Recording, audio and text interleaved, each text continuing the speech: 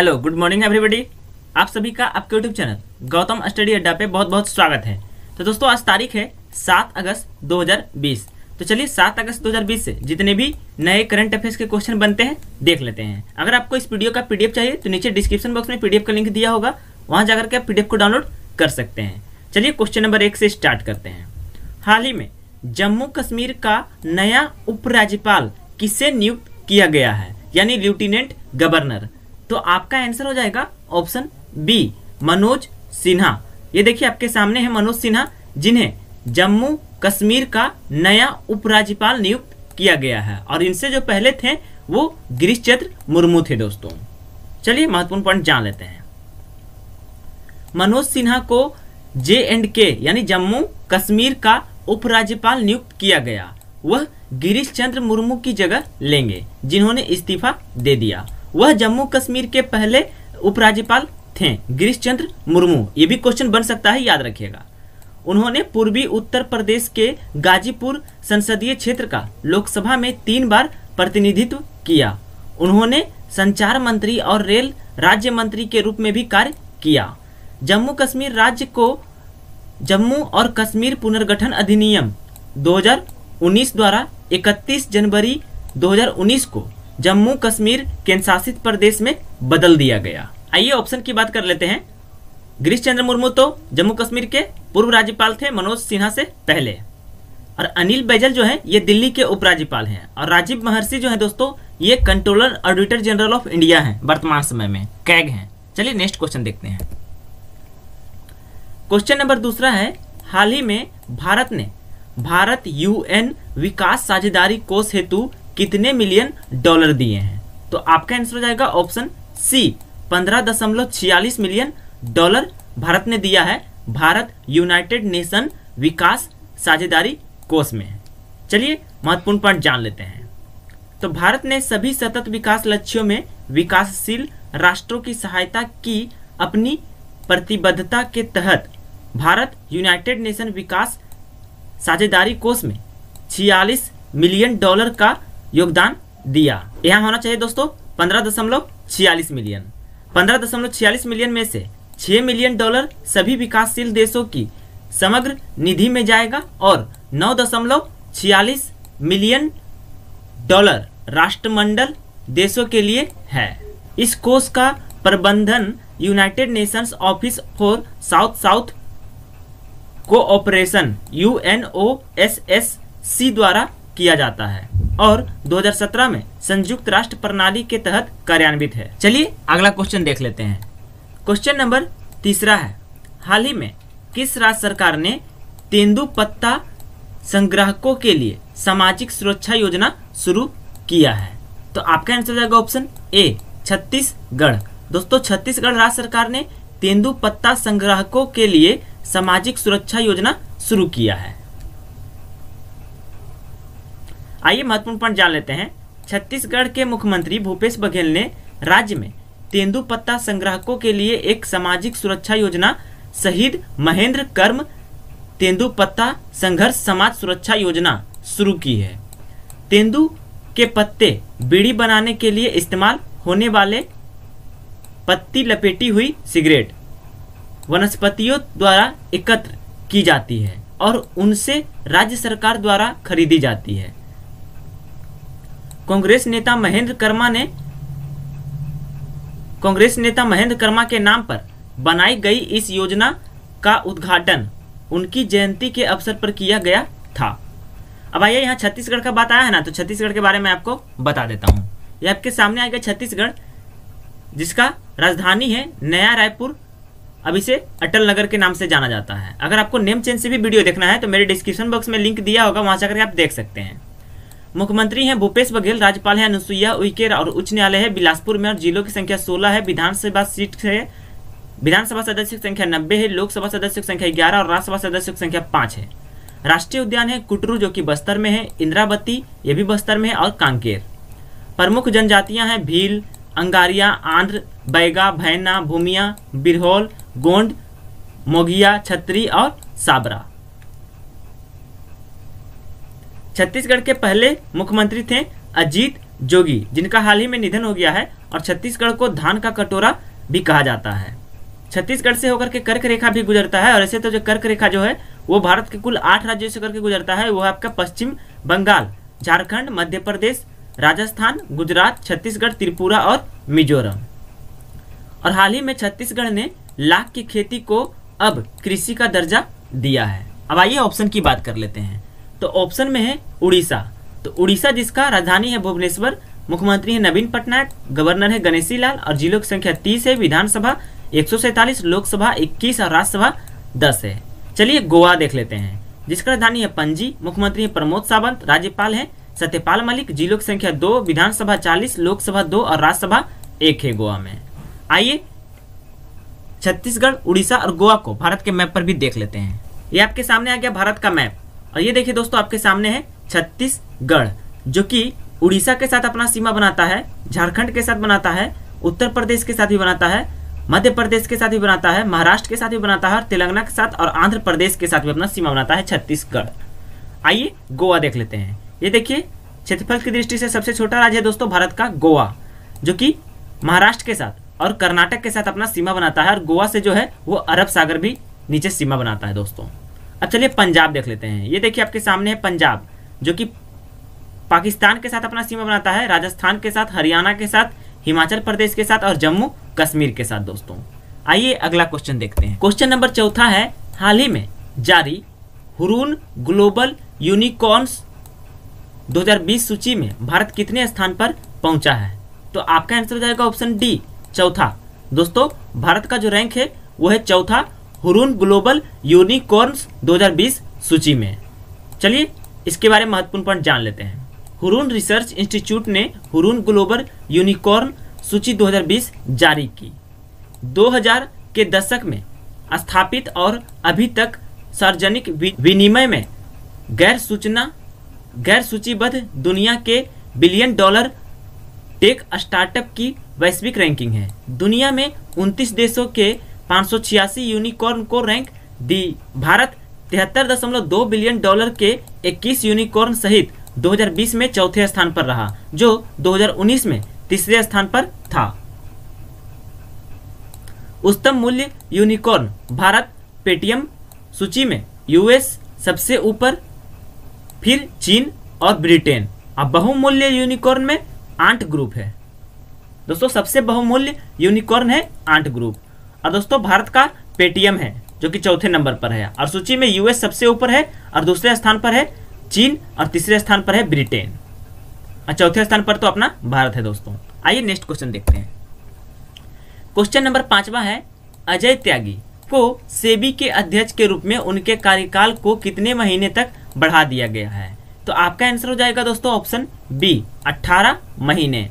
18 महीने यानी डेढ़ साल का इनके कार्यकाल को बढ़ा दिया गया है अजय त्यागी, जो कि हमारे सेबी के security and exchange board of India के अध्यक्ष यानी प्रेसिडेंट थे चेयरमैन थे दोस्तों। ये आपके सामने है अजय त्यागी। चलिए महत्वपूर्ण पॉइंट जान लेते हैं। एक कार्मिक मंत्रालय अनुसार, एक कार्मिक मंत्रालय के अनुसार अजय त्यागी को बाज़ार नियामक सेबी के अध्यक्ष के रूप में 18 महीने का विस्तार दिया गया है।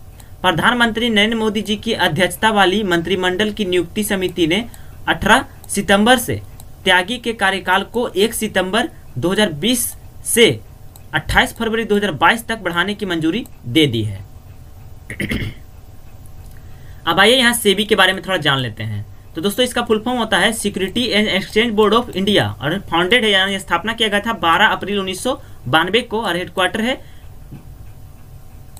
मुंबई, महाराष्ट्र में। और चेयरमैन है Ajay Tyagi.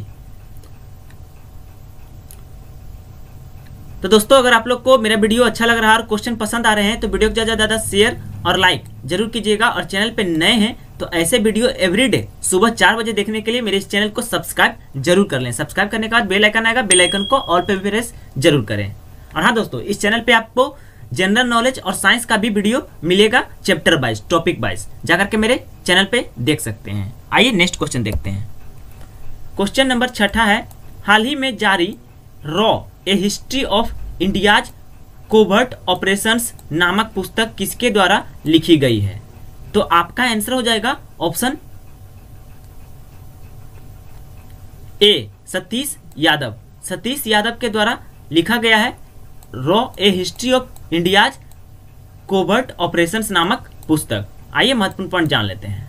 Raw a history of India's covert operations नामक पुस्तक खोजी पत्रकार और लेखक सतीश यादव ने लिखी है।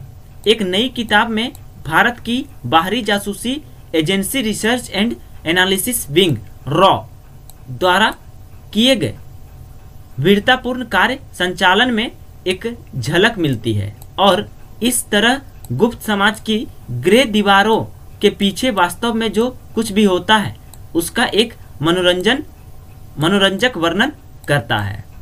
अब चलिए दोस्तों, यहाँ रॉ का बात आया तो रॉ के बारे में आपको बता देता हूँ। तो दोस्तों, रॉ, जिसका फुल फॉर्म होता है रिसर्च एंड एनालिसिस विंग और इसके चेयरमैन है वर्तमान समय में सामंत गोयल।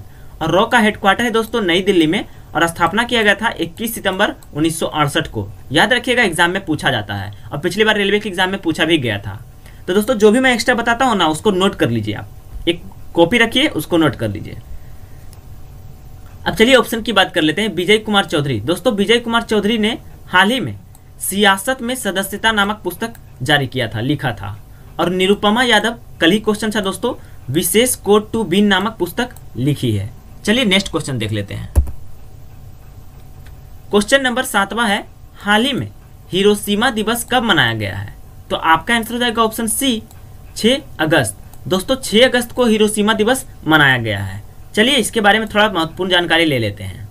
6 अगस्त को द्वितीय विश्व युद्ध के दौरान हिरोशिमा में परमाणु बमबारी की सालगिरह है। और ये दोस्तों, पचहत्तरवा सालगिरह है इसका। हिरोशिमा दिवस का 6 अगस्त 2020 में पचहत्तरवा सालगिरह है। भयावह घटना 6 अगस्त 1945 को हुई, जब संयुक्त राज्य अमेरिका ने जापान के हिरोशिमा शहर पर लिटिल बॉय नामक एक परमाणु बम गिराया। बम का क्या नाम था? Little boy. ये एग्ज़ाम में पूछा जाता है दोस्तों, लिटिल बॉय। यह बम हमला 1945 में द्वितीय विश्व युद्ध को समाप्त करने के मकसद से किया गया था। इस दिन को परमाणु ऊर्जा और परमाणु हथियारों के खतरे के बारे में शांति को बढ़ावा देने और जागरूकता फैलाने के लिए याद किया जाता है। चलिए नेक्स्ट क्वेश्चन देख लेते हैं। क्वेश्चन नंबर आठवां है। हाल ही में भारतीय एयरटेल ने भारत में क्लाउड कारोबार को बढ़ाने के लिए किसके साथ समझौता किया है, साझेदारी किया है? तो आपका आंसर हो जाएगा ऑप्शन बी अमेजन अमेजन के साथ साझेदारी किया है भारतीय एयरटेल ने भारत में क्लाउड कारोबार बढ़ाने के लिए, भारतीय एयरटेल के साथ। चलिए महत्वपूर्ण पॉइंट जान लेते हैं। भारतीय एयरटेल ने भारत में बड़े उद्यम और छोटे एवं मध्यम उद्यम। ग्राहकों को नए व्यापक क्लाउड सॉल्यूशन सेट देने के लिए अमेजन वेब सर्विसेज़ ए के साथ भागीदारी की। एडब्ल्यूएस की सहायता से Airtel cloud AWS cloud practice और अन्य उत्पादों का विकास करेगा, जिससे एयरटेल की डेटा सेंटर क्षमता और एयरटेल की नेटवर्क और टेलीकॉम सेवा बढ़ेगी। ग्राहक एकीकृत बिक्री और सहायता से लाभान्वित होंगे। और दोस्तों एयरटेल के अध्यक्ष हैं सुनील भारती मित्तल। अब चलिए ऑप्शन में अमेजोन की बात कर लेते हैं दोस्तों, और फ्लिपकार्ट की। तो दोस्तों अमेजोन जिसके सीईओ हैं जेप बेजोस और हेडक्वार्टर है वाशिंगटन डीसी यूनाइटेड स्टेट्स में।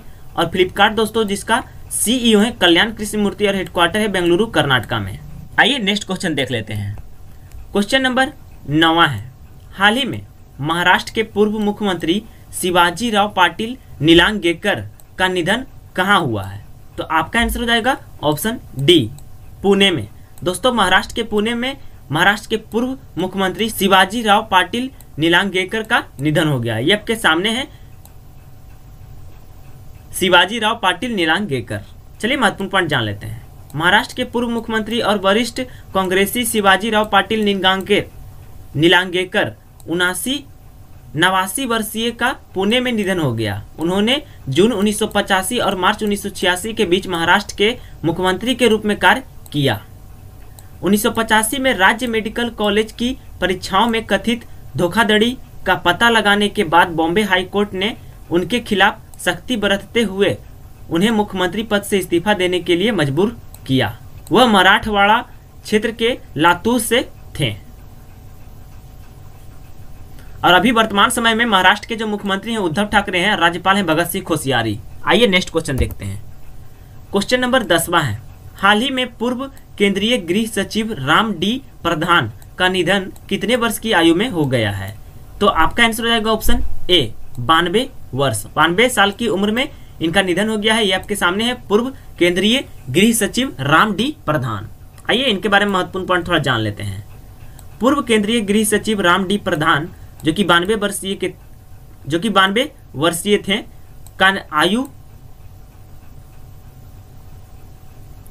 पूर्व केंद्रीय गृह सचिव रामडी प्रधान, बानवे वर्षीय का आयु संबंधी बीमारियों के कारण मुंबई में निधन हो गया। वह महाराष्ट्र कैडर के आईएएस अधिकारी थे। उन्होंने अरुणाचल प्रदेश के उपराज्यपाल उन्नीस सौ सतासी से 1990 के रूप में कार्य किया। उन्होंने 26 ग्यारह मुंबई आतंकवादी हमले की जाँच में दो सदस्यीय समिति का नेतृत्व किया। उन्हें उन्नीस सौ सतासी में पद्म भूषण से सम्मानित किया गया। उन्होंने असम समझौते और मिजोरम शांति समझौते पर हस्ताक्षर में महत्वपूर्ण भूमिका निभाई। आइए, आज का आखिरी और लास्ट क्वेश्चन देख लेते हैं, जो कि क्वेश्चन नंबर 11 है दोस्तों। और महत्वपूर्ण क्वेश्चन भी है, ये एग्ज़ाम में आने वाला क्वेश्चन है। हाल ही में कौन सा देश महात्मा गांधी के सम्मान के लिए विशेष सिक्का बनाएगा? इस क्वेश्चन को स्टार मार्क लगा लीजिएगा दोस्तों, क्योंकि ये क्वेश्चन जो है हंड्रेड परसेंट एग्ज़ाम में आएगा। मैं आपको दिखा दूँगा। तो आपका आंसर हो जाएगा दोस्तों ऑप्शन बी ब्रिटेन दोस्तों ब्रिटेन जो है, वो महात्मा गांधी के सम्मान में एक विशेष सिक्का जारी करेगा। और ब्रिटेन के वर्तमान समय में राष्ट्रपति हैं बोरिस जॉनसन ब्रिटेन का राजधानी है लंदन और मुद्रा है पाउंड स्टर्लिंग आइए ऑप्शन की बात कर लेते हैं, अमेरिका। जिसका राजधानी है वाशिंगटन डीसी अमेरिकन डॉलर मुद्रा है अमेरिका के राष्ट्रपति हैं डोनाल्ड ट्रंप चलिए जापान देख लेते हैं, जिसका राजधानी टोक्यो, जापानी जेन, इसका मुद्रा है, जापान के प्रधानमंत्री हैं शिंजो अबे। तो चलिए दोस्तों, यहाँ आपका सारा क्वेश्चन महत्वपूर्ण जितना था, वो सब खत्म हो गया। वीडियो कैसा लगा, ये कमेंट में ज़रूर बताइएगा। अगर आपको वीडियो अच्छा भी लगा है तो वीडियो को ज़्यादा से ज़्यादा शेयर और लाइक ज़रूर कीजिएगा। ज़्यादा से ज़्यादा शेयर इसलिए कीजिएगा दोस्तों, क्योंकि आपके साथ और भी स्टूडेंट इसका लाभ उठा सके। इतने सारे जो मैं एक्स्ट्रा बताता हूँ, वो वो भी जान सके दोस्तों। चलिए दोस्तों थैंक यू अपना ख्याल रखिएगा, कोरोना वायरस से बचे रहिएगा और जाते जाते चैनल को सब्सक्राइब नहीं किए हैं तो सब्सक्राइब ज़रूर करके जाइएगा।